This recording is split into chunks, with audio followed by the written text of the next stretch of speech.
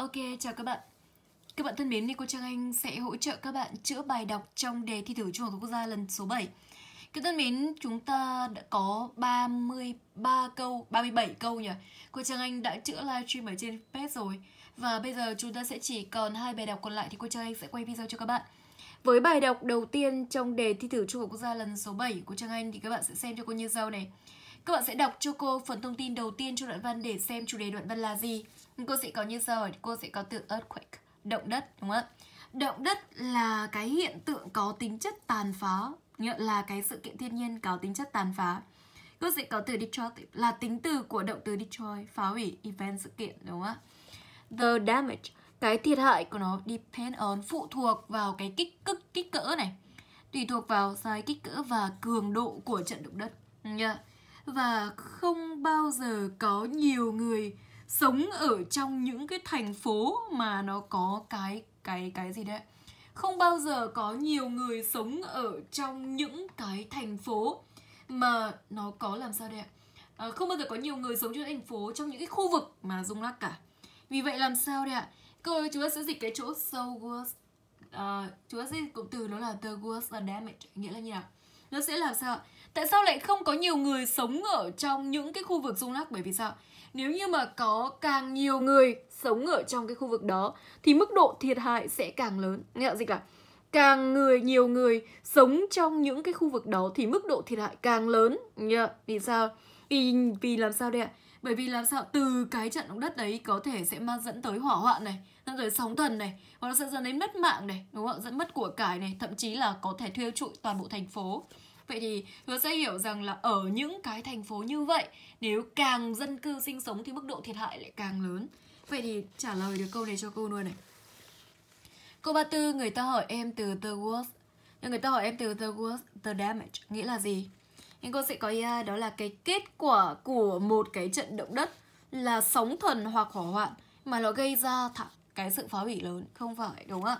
Ý B của cô sẽ là greater damage mức độ thiệt hại sẽ lớn hơn, sẽ xảy ra ở những cái khu vực, thành phố có dân cư đông đúc ở trong những cái khu vực nguy hiểm.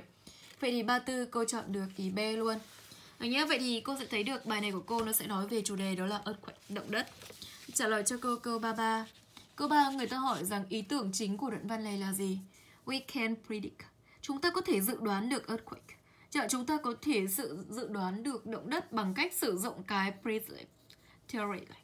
Chúng ta có thể sử dụng à, chúng ta có thể dự đoán được động đất bằng cách sử dụng cái giả thuyết nhận cái lý thuyết về biên độ trượt. Ý B của câu hỏi sao? Có rất là nhiều những cái giả thuyết về earthquake động đất. Thế còn ý C của câu hỏi sao? Research. Các cuộc nghiên cứu đang chỉ ra rằng chúng ta hoàn toàn có thể be able to có thể predict dự đoán về động đất. Thế còn ý D của câu hỏi sao? Ý D của câu với từ earthquake động đất là cái thảm họa thiên nhiên có tính có tính chất tàn phá khủng khiếp nhất trên thế giới. Vậy bạn sẽ đọc cho cô phần thông tin sau. À, Các bạn sẽ căn cứ cho cô mà thôi câu này là câu về chủ đề chính của đoạn văn để cô đến xuống cuối làm cho cô câu 35 trước. Câu 35 là dạng câu hỏi tìm mối liên hệ Người ta hỏi em từ ít ở trong đoạn văn đấy có nghĩa là gì? Thì bạn sẽ đọc cho cô từ sau. À, Cô sẽ có là nhưng mà một đồng nghiệp tên là như này đã thêm vào rằng cái thí nghiệm à cái thí nghiệm ở trong phòng thí nghiệm này đúng không ạ? Đã chỉ ra rằng một cái vết nứt có thể trượt đi một chút trước khi nó làm sao đấy nó vỡ. Vậy thì cô sẽ có, nó ở đây chính là cái từ pull đúng không ạ vết nứt này. Vậy thì cô sẽ chọn được câu 35 là ý A. Nói chung là câu này chả cần hiểu nghĩa là gì. Mình cũng chọn được rất là dễ dàng. Với dạng câu hỏi tìm mối liên hệ là cái dạng câu hỏi rất là dễ. Nên bạn nhớ là câu này chúng ta không bao giờ được mất điểm. Sau câu 35 chuyển cô sang câu 36 cái câu nào dưới đây không đúng? Ý A câu đó là cái vết nứt ở San Andreas này đúng không ạ? Là sâu hai dặm. Xem cho cô xem ở chỗ nào người ta đề cập đến cái địa danh là San Andreas đấy, đọc cho cô phần thông tin sau. Cô sẽ thấy như sau này. Ở cái vùng này, đúng không ạ? Thì cái trận động đất của California này xảy ra cứ 22 năm một lần yeah. ở trên cái vết nứt San Andreas này. Vậy thì cô sẽ có nhé, toàn bộ đoạn văn dưới nó đề cập đến phần đấy này. Thì cô sẽ có là cái trận động đất đấy diễn ra cứ 22 năm một lần. Thì cô có một cái thông tin sau đó là cái trận động đất đó xảy ra khoảng hay là một lần ở dọc cái cái vết đất này. Vậy thì cô sẽ thấy được ý C của cô đúng mình cần chọn thông tin không đúng. Về đọc cho cô tiếp trong này nó có chỗ nào đề cập đến hai dặm không? Nhớ sâu ở hai dặm liền. Để xem cho cô như sau. À, bạn sẽ thấy cái phần thông tin sau đó là vào năm 2005 đúng không ạ? Thì họ đã reach họ đã họ đã tới được đáy của cái vết đấy. Nhớ đó là cái váy đáy cái cái vết này sâu, sâu bao nhiêu ạ? Sâu hai dặm và tìm thấy một cái gì đó. Vậy thì cô sẽ thấy được ý a của cô đúng hai cái đúng không nhá. Ý b của cô là các nhà khoa học ở mỹ đã tìm thấy cái slip này. Ở trong cái cái vết đấy những năm 1980 Vậy xem cho cô xem 1980 thì sự kiện gì xảy ra. Vào những năm 1980 thì các nhà khoa học đã khoan xuống cái cái cái vết đấy đúng không ạ? Và họ đã thiết lập một cái dụng cụ dùng đó để mà ghi chép lại những cái hoạt động và tìm kiếm những cái cảnh báo Vậy thì cô sẽ thấy được là ý B của cô là đến năm 1980 họ mới bắt đầu khoan xuống thôi, chứ họ chưa có thể tìm thấy được cái đấy ở dưới đáy của nó. Nên là ý B của cô sẽ là sai. Sau cô 36 chuyển cô sang câu 637. Câu 7 người ta giỏi là hỏi là những cái bằng chứng về những cái giả thuyết về về dao động trượt này, đúng không ạ? Đã được tìm thấy bởi các nhà khoa học ở đâu? Và bạn sẽ đọc cho cô phần thông tin sau này.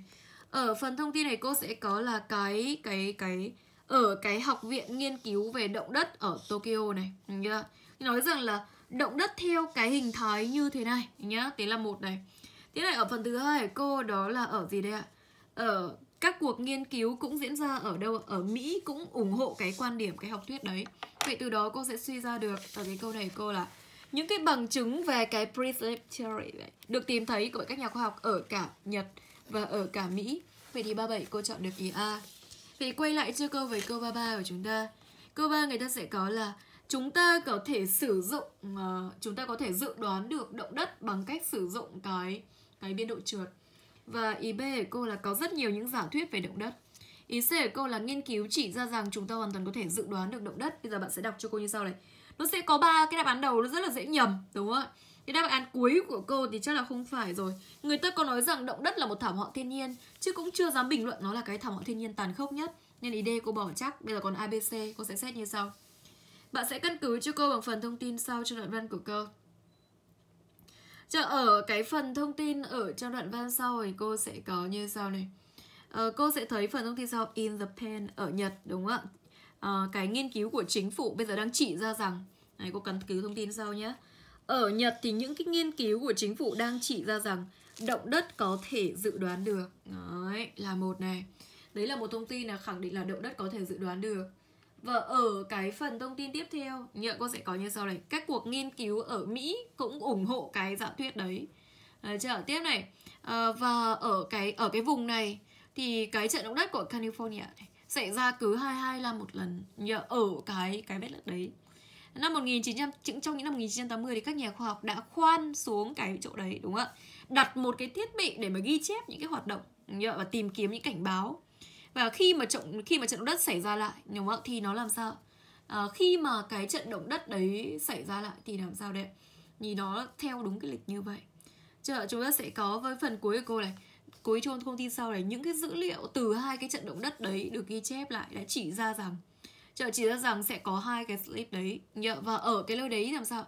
Trước khi một cái cái cái cái cái cái vết đấy nó bị vỡ ra và trận động đất xảy ra, vậy thì ở cái chỗ này cô sẽ có như sau này. Ở năm 1980 các nhà khoa học đã khoan xuống cái chỗ đó, đặt những cái thiết bị để mà có thể ghi chép được, để mà có thể tìm kiếm những cái cảnh báo về động đất trước. Và chú ý cho cô phần cuối cùng chúng tôi, chúng ta đang hiểu về những cái sự kiện tàn phá này. Chúng ta đã dần hiểu về những cái sự kiện tàn phá này mỗi ngày, nhá.